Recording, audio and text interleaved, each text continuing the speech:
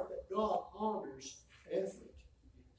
You make an effort, bless God, He blesses you for it. And I'm glad to see you this morning. I'm glad that there's a good crowd here. That's that's encouraging to me to see a good crowd. Let me give you another announcement before I forget. Somebody has to look. Uh, there's going to be a drive-by bridal shower. Man, this COVID stuff changes everything, don't it? What you need to do is, is drive by the church on Sunday, uh, September the 13th, and, and Kayla and uh, Will back there is they're registered at the Walmart. Bring them a gift, bring them something, and, and make fun of them. Your life's fixing to change. Watch this. And uh, a, a drive-by, going to have a drive-by bridal shower. I believe that's the first one I've ever heard. Now, Nadine had a drive-by birthday party. That's pretty good, but you didn't get no cake. And drove, drove by and took, uh, and took Nadine a birthday gift. I just thought that was good. She enjoyed it. Huh? You got a cookie? I got a cookie. I forgot about that cookie. Yep, got a cookie. And it was good too. Who made them cookies? I need a recipe. That was good. And so don't forget uh, September the 13th on Sunday at 2 to 4 p.m. to drive by the church and wish Kayla and Will uh, a happy life together. I know that there's no better way than you can live uh, than live a married life with somebody that God wants you to be with. So it's a first time I've ever heard of that. Y'all don't forget that. Uh, I want to mention a few prayer requests again. A man named Willie Fields, a man that I know lives over in Watauga, had a he had a blood vein bust in his brain, and he had a major stroke. And uh, they took him in the operating room, and they can't get to the blood clot that's in his head, so it looks real serious. Remember to pray for Willie Fields. Uh, again, uh, Sister Carol and Sister Patricia Collins and Carolyn and all the ones that I mentioned before. I hope I didn't forget anybody. And remember to pray for each other. That's the good part of being in a church family, ain't it?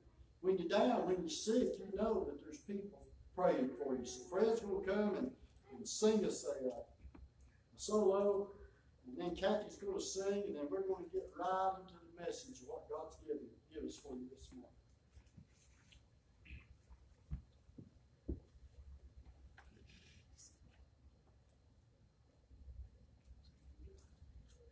Sadly, Facebook changed their interface, recording on my own account, so I'm going to put it up on our YouTube and hopefully onto our church's channel later. That's why that happened. Apologies. I'm going to sing a couple songs here. Um, one you probably haven't heard in a long time. Um, Wonderful Words of Life. It's page 222 in your hymnal follow along, and then uh, an old favorite in the garden.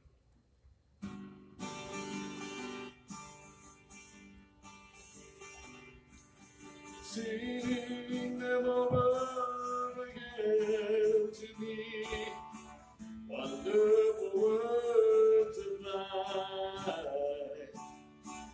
Let me more of their beauty see, wonderful words of life. Words of life and beauty, teach me faith and duty. Beautiful words, wonderful words, wonderful words of life. Beautiful words, wonderful words, wonderful words of life. Sweetly echo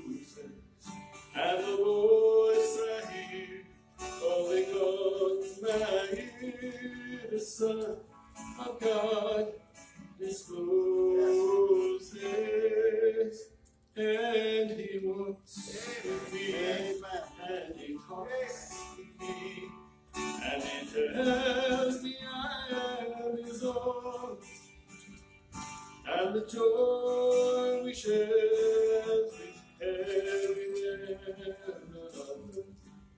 It's a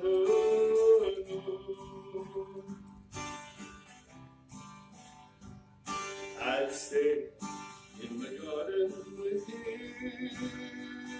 Oh, the nights around me before me. But he bids me go. And the voice of war, his voice to me is calling. And he walks with me and he talks with me and he tells me I am his own. And the joy we share as we tarry there, none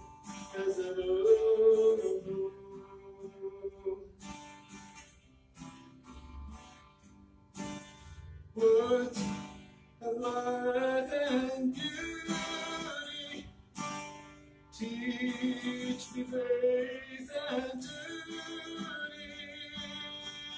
Beautiful wonderful words, wonderful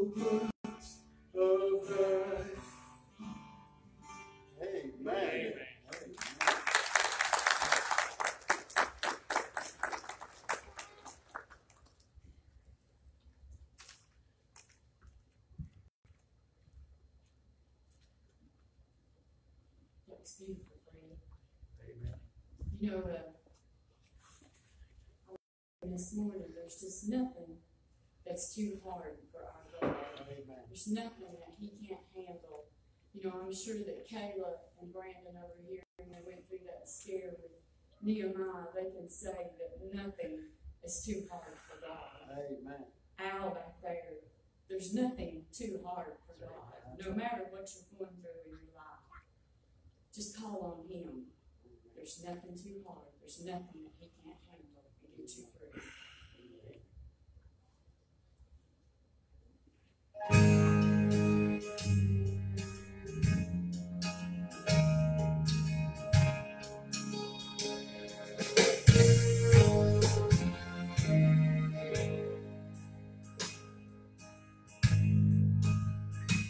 When David gathered a handful of stones, where the soldiers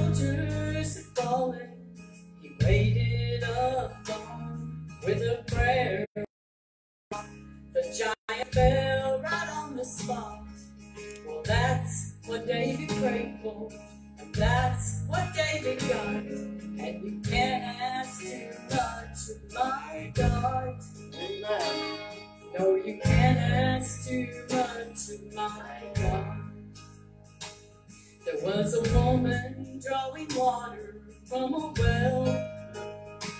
She had so many regrets, so often she fell. But Jesus knew where she had been. Still, He forgave her of her sin. And her life began to flow, living water for her soul.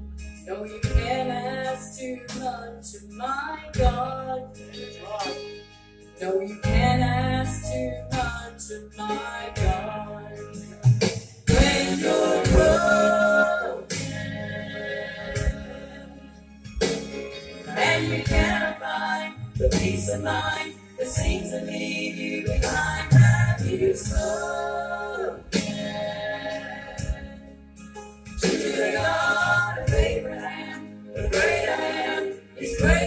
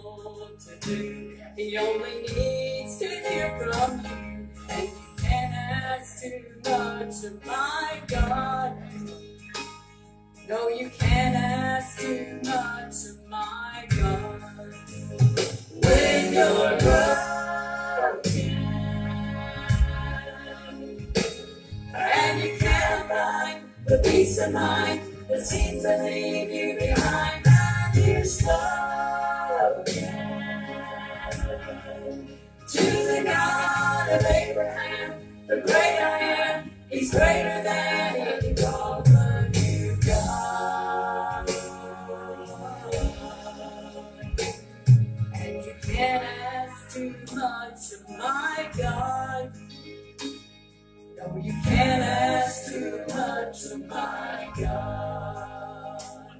And you can't ask too much of my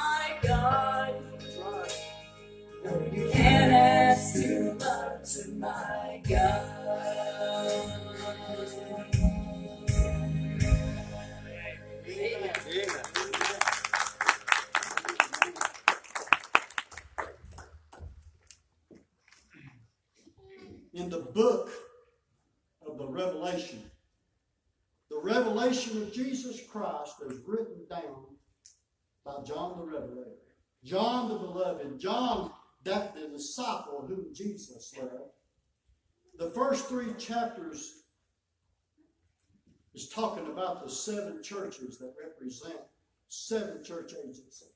We are in that last church age right now, the church age of Laodicea. In Revelation chapter 3, at verse 15, this is what Jesus says about the Laodicean church. I know thy works, that thou art neither cold nor hot. I would thou wert cold or hot. So then, because thou art lukewarm and neither cold nor hot, I will spew thee out of thy mouth. Down by verse 20, Jesus is on the outside now of the church, and he's knocking, trying to get in. We're going to look this morning at a very familiar story in 1 Samuel chapter 17. If you would like to turn there and, and go along with us in the Word of God, let's go to the Lord in prayer. Father, thank you. Once again, God, we stand before you, unable and unworthy. And God, though we have studied, we can do nothing without heavenly anointing. So, God, we ask you in the name that's above all names, the name of Jesus, our Savior. God, that for a few minutes you would anoint these lips of clay. And God, use us to be an encouragement to your people. And God, to that one that don't know yet, may they be pointing toward Calvary. And Lord, if our church is lukewarm, and you're going to spew us out of your mouth, then there's a reason for it. So, God, we pray this morning you can help us to explain it that a small child could understand. And Lord, we won't fail to bow unworthy heads and raise unworthy hands and give you praise for all that you do, for thou art worthy. Amen.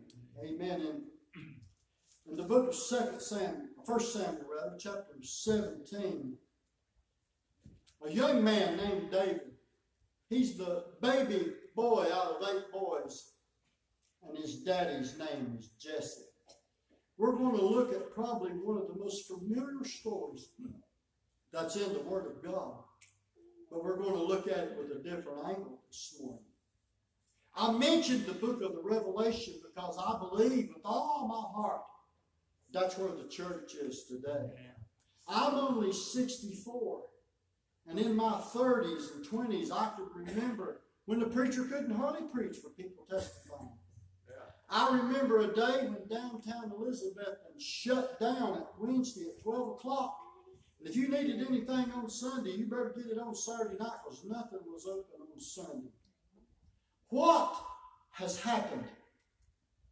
Well, let's look at that this morning. You want to? This young man named David is instructed by his daddy, Jesse. Jesse has three boys that's in the battle. And they're down in a place called the Valley of Elah. And I just would have to believe that this valley is much like the valley of the shadow of death that you go to, going out of Jerusalem down the mountain to Jericho. That valley's probably about as wide as from me to the sound room, and it's straight down. You can't see the bottom of it. And you have to go all the way down to Jericho to get across of it to come back up the other side. I'm talking about a deep valley. I'm talking about a gorge. I'm talking about a gap. And so when David gets to where his brothers are, Jesse instructs him to take parched corn and bread and ten different cheeses and go to the valley of Elah and see how my boys are. And when David pulls up and begins to unload his donkey, it's unbelievable what he sees. He sees the army of Israel. The Bible says they are in array with the Philistines. You know what that means? That means they're standing on one side of the gap, and the Philistines are on the other side of the gap, and they're looking each other over, and they're sizing each other up. In order for them to go to battle, they've got to go down to the bottom of the gap to engage each other. But at this time, they're just looking each other over. And as David pulls up, can you see maybe one of the Philistines comes out with a big long trumpet and blows it and announces, Goliath of Gath. This great, big, huge man steps on the scene, starts cussing Israel, starts cussing their God. The Bible says he defies Israel. And David just looks up. And when he does, all the men's knees are knocking. And they all run away. What is it in David that causes him to run to the enemy and everybody else run away? What is it about David that makes him fearless in the face of an overwhelming enemy? I believe we see the answer in verse 29. And David said, What have I now done? Is there not a cause? I believe the reason we're, re- we're living today in the lukewarm church at that age is because the church has lost its cause. And if the church has lost its cause, then its members has lost its cause. Now you listen to this. When you lose your cause, you lose your effect. Yeah. Mm. You're no longer in effect. You're no longer a lighthouse on the corner in which you stand. Why? You've lost your cause. David asked this question Is there not a cause? Several thousand years ago, David asked that question. I believe it's more prevalent today. Here's the world's definition of a cause a principle, an aim, a movement that because of deep commitment, one is prepared to defend or advocate. Now you listen. A cause won't let you set out. A cause won't let you be neutral. A cause will demand action. We see people today everywhere with fake causes. Listen, you might have a cause and a sign, but when you start throwing bricks and loot and burning, you're a thief. You're a thug. You don't have a cause. You're probably being paid a lot of money to cause mayhem. You're, you're just useless when you're like that. That's not a cause. That's a fake cause. I saw a man on TV the other night that while in prison, God saved him. He started advocating for other prisoners. He started helping men that had just gotten out. I saw a grandmother who had been locked up on a minor drug charge for 22 years. She started advocating for women, standing up for them and helping them. And President Trump rightfully pardoned both of them. You see, they had a cause. And a cause is something that the church no longer seems to have. Let me show you. Missionaries will invade foreign fields. They'll go where it's not safe to preach the gospel. Men will come to this church like Brother Jerry and climb in a van and drive it faithfully. The people will teach Sunday school for years and years. People will work faithfully in the food pantry. Why? Because they have a cause. And you see, a cause is what we don't have today. A cause will cause you to knock on doors. A cause will cause you to tell people about Jesus. Have you lost your cause?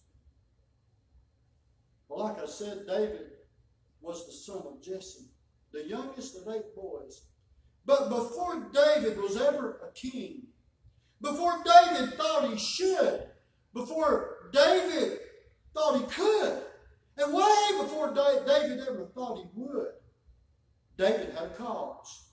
Before David was forever listed in the army of the greatest heroes of the, Bible, you see, movies have been made about this topic, life of David. Many books have been written about, about this, but before it ever happened, David had a cause. Not because he was a superhero, not because he was powerful, not because he was skilled, and not because he was a warrior. the story of David and Goliath is a popular story, but you listen to this. Here's what I want you to see. There would have been no story about Goliath winning the battle, about David winning the battle over Goliath. There would have been no story if David had not had a cause. Amen. Have we lost our cause this morning? Before women ever sang, Saul has killed his thousands, and David has killed his ten thousands. Before David ever wrote a song, and before David was ever a king, David had a cause. David had a principle. He had an aim, a movement that would cause a deep commitment that he was prepared to defend or advocate. I used to think this, Brother Joe. I used to think that the reason the book of Acts says that David was a man after God's own heart, I used to think that it was because David was so good to repent. I read Psalm chapter 51. You read it.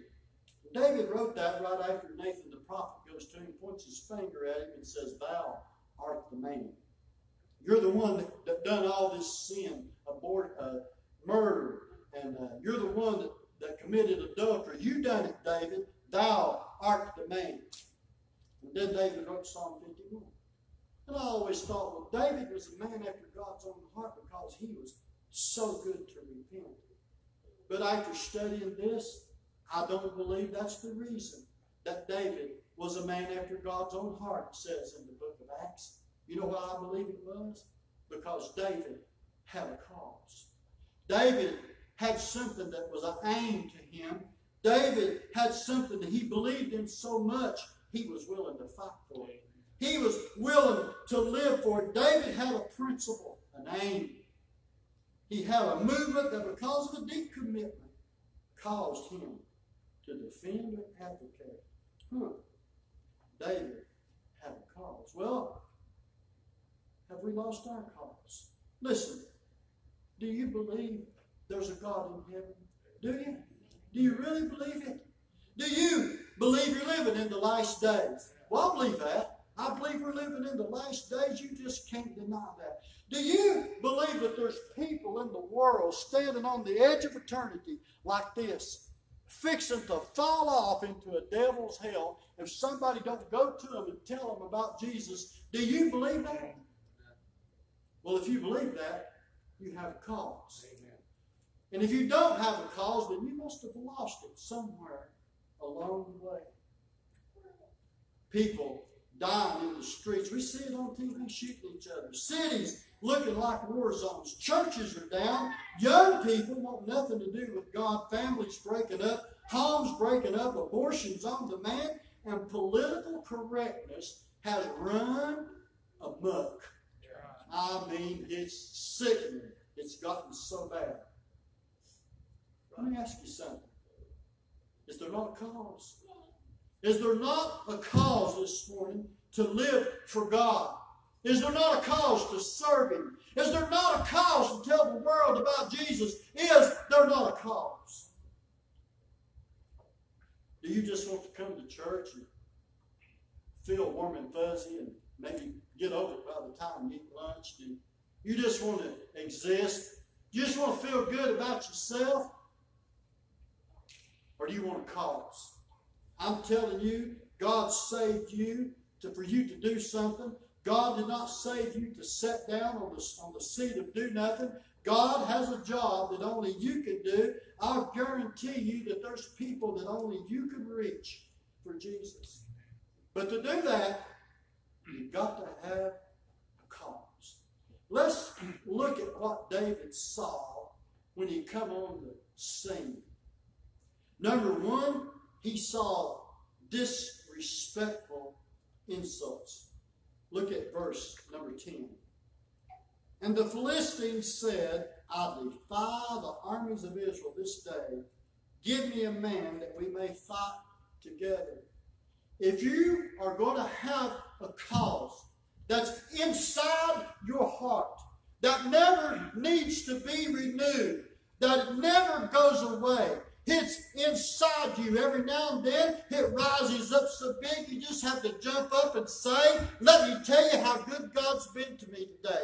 If you have a cause, you become God conscious. You can't go outside without you look around and say, Look at them beautiful mountains that God made. Look at these flowers that God made. God, you sure done a good job at everything you do. When you become God conscious, you become appreciative of what you have. I mean, I don't have a lot in this world, but I have a home. I have people that love me in a home. I have what I need in this life. I have eat. I believe it's all because God gave it to me. I'm God conscious. And then I'm sin conscious. If I'm around somebody that's using bad language or take God's name in vain, I'm telling you, I can't be around that. It gets to me. I, I, I have to ask him, what's God ever done to you to make you talk about him like that? You become sin conscious, and then you listen to this. You become soul conscious.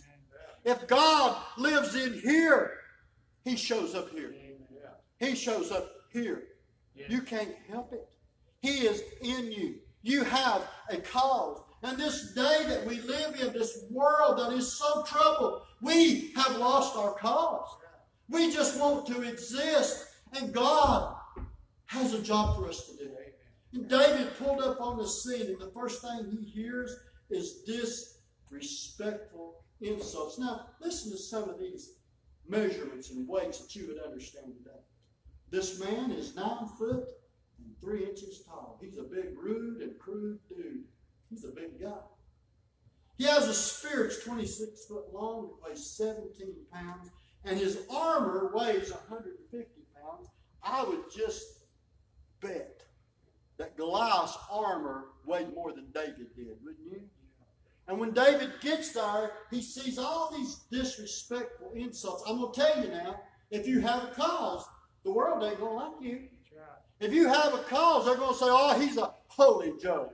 He goes to that Free Will Baptist church up there on the corner. You see him leaving for church every single time the doors is open. He he thinks he's better than everybody else. You're going to hear that if you have a cause. If you live for God, expect disrespectful insults.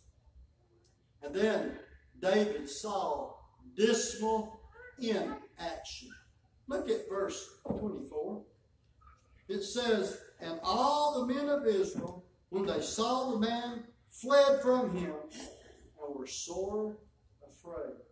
I remember many times Preacher Adams would say he would like to be so full of God and have so much confidence that he would charge hell with a water pistol. If you're going to be that bold, you're going to have cause. If you're willing to walk into a hospital room where you have a sick friend and somebody sick that you know, and you're going to pray for them, you're going to have a cause. There's not going to be no time in today's world for inaction. I'm telling you, you can't sit on the seat of do nothing. God wants us to do something. There can't be no dismal inaction. But David, as he listened, he heard delightful incentives. Look at verse 26. And David spake to the men that stood by him, saying, What shall be done to this man that killeth this Philistine? Talking about Goliath. And taketh away the reproach from Israel. For who is this uncircumcised Philistine that he should defy the armies of the living God? And the people answered him after this manner, saying, So shall it be done to the man that killeth him. Go back to verse 25. And the men of Israel said, Have ye seen this man that is coming up? Surely to defy Israel he cometh up. And it shall be that the man who killeth him, the king will enrich him with great riches, and will give him his daughter, and make his father's house free in Israel. Man, what a deal. The man that kills Goliath is going to be made rich. He's going to get the king's daughter for his wife. And he's going to live tax free, and so is his whole family. That's a pretty good deal. David, David didn't say, What's the problem? He said, What's the reward? Hey, that's the way you are when you have a cause. But there's one thing that I want you to see. I told you that between Israel and the army of the Philistines was a great gulf, was a gap. Ephesians chapter 6 tells us of Achan, and he's far more scary than Goliath. He's far, far more powerful than Goliath. He's nasty. He's cunning. He will lie to you. He will deceive you. But between you and this great enemy is a gulf. That gulf is the bloodline of the Lord Jesus. And your enemy, no matter how powerful, no matter how smart, if you have a cause, he cannot cross that bloodline. Thank God in heaven. I have the blood of his son that protects me from the enemy. Read Ephesians chapter 6 when you get home. There was not only a dismal inaction, but there was a demeaning implication. David was told that you can't fight this giant. Son, who in the world do you think you are?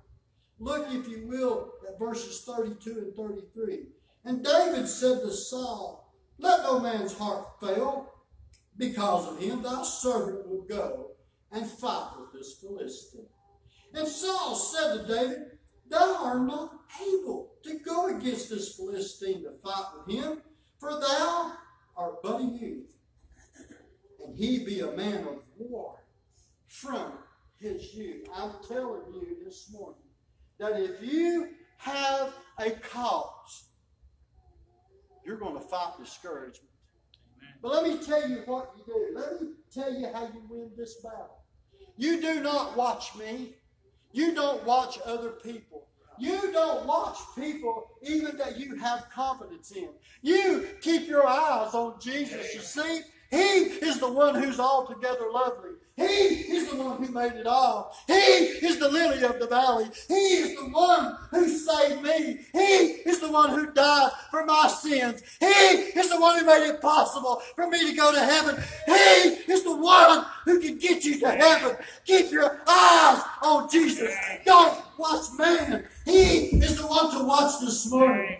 Keep your eyes on Jesus. Don't watch men. He is the one to put your confidence in. He is the one to put your faith in. He done it all that we might be saved this morning. You will fight discouragement, but thank God I have Jesus. You have Jesus, and all He wants you to do is have a cause this morning. Do you have a cause? Have you laid it down? Have you stopped? Have you quit? Oh, you didn't mean to. It just kind of left slowly. You see, that's the way the devil does. That's what he does to man. That's the way he lies to you. He don't play fair. And he will cause you to slowly lose your cause. And you will no longer be in effect in a world that needs Jesus. They're dying by the millions. They're going to hell every second. And we don't even have a cause. Ain't that sad?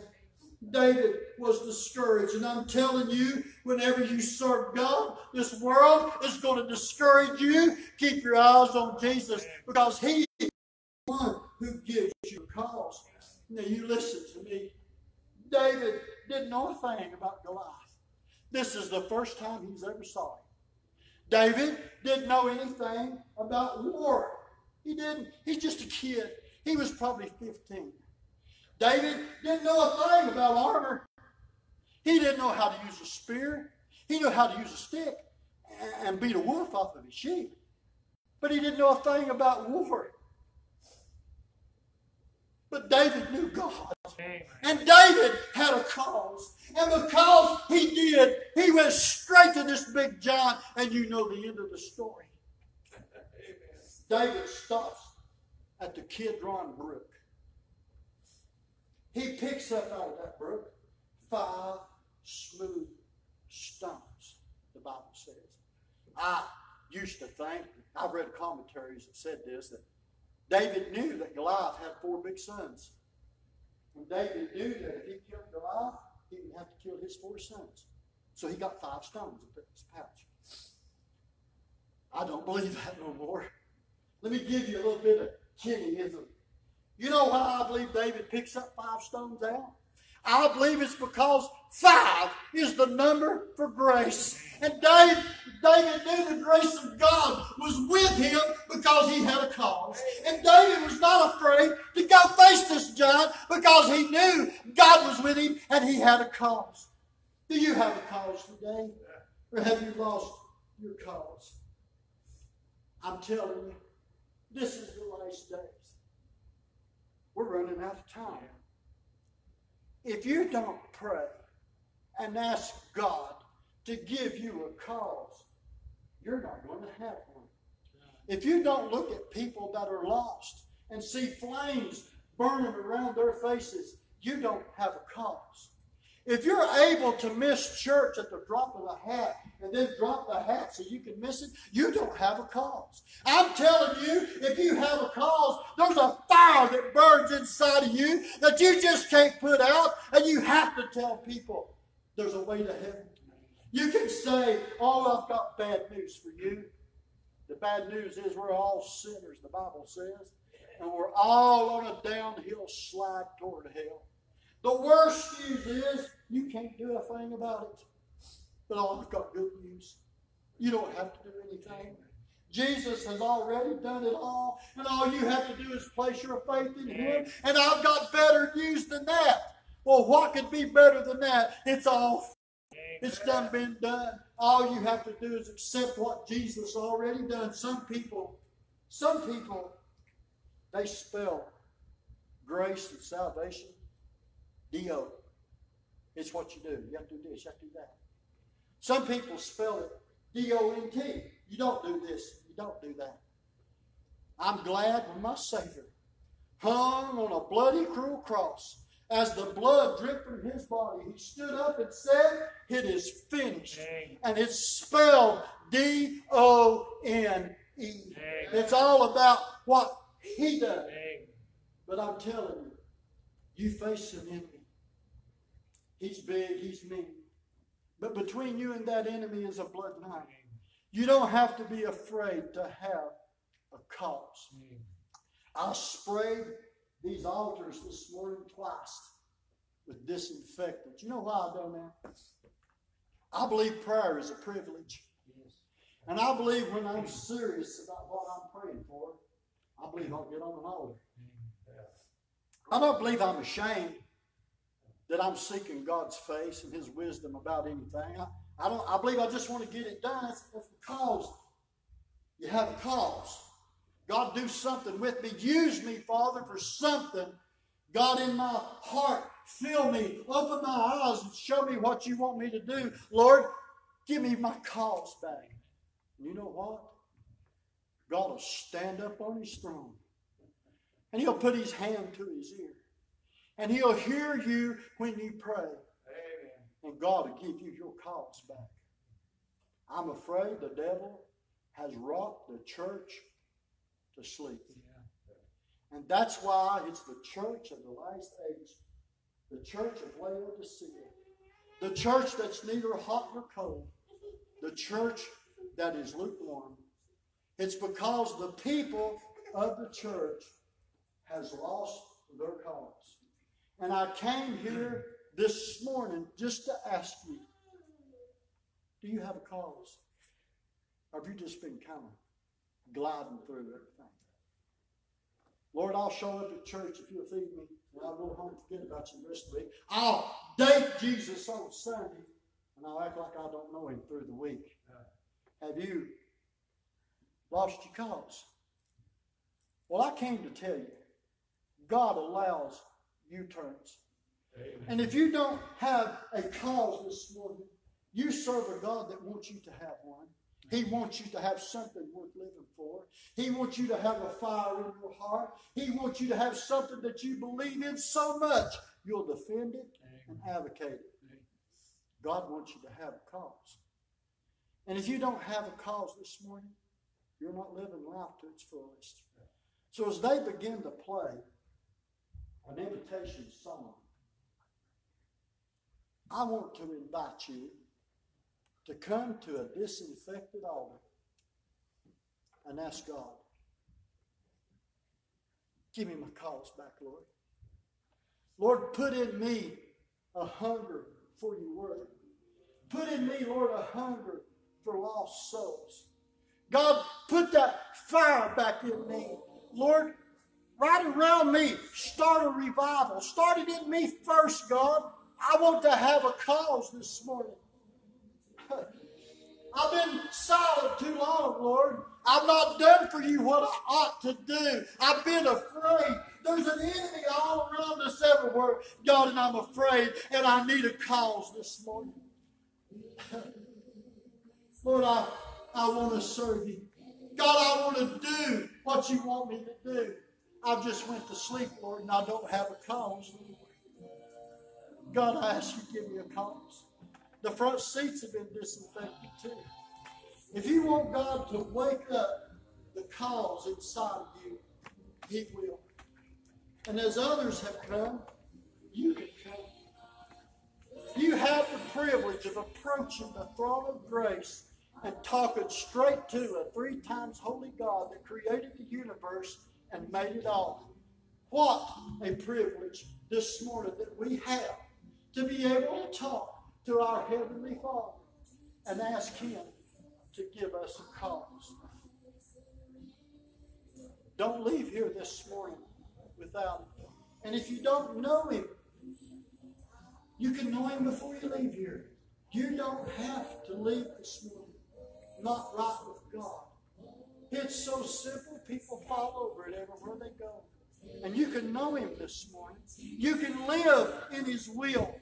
And when you do, you'll have a cause.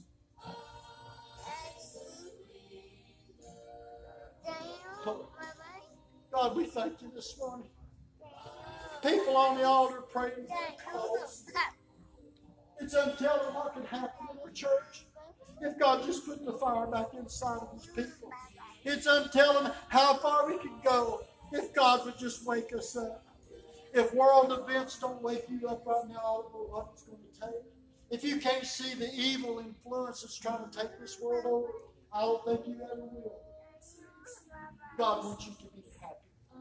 And for you to be happy, you have to have a cause. And He's here this morning, and He wants to help you. Would you come? Amen. Thank you.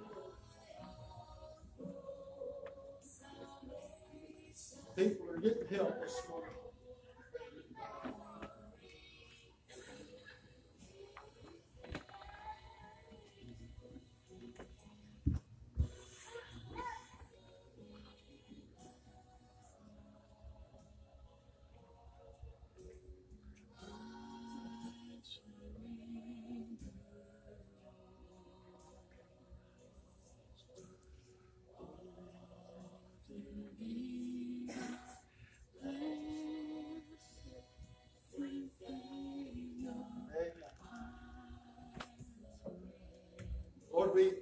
Came this morning, and God, to the best of our ability, we said what you have us to say. I pray, God, it was a blessing, and I pray it was a challenge, Lord, for us to wake up. Because, God, we have a cause if we serve you. If we know you, we have a cause. And I pray, Lord, you wake it up inside of each one of us and help us to understand.